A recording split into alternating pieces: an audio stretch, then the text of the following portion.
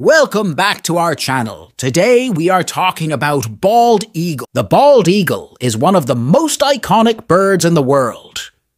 It is also the national bird of the United States. Bald eagles are large and powerful birds. They have a wingspan of up to 8 feet and can weigh up to 14 pounds. Bald eagles are also skilled hunters.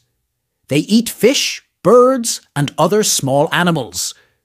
Bald eagles are important to the American ecosystem. They help to control populations of other animals, such as fish and rabbits. Bald eagles are also important to American culture. They are a symbol of freedom and strength.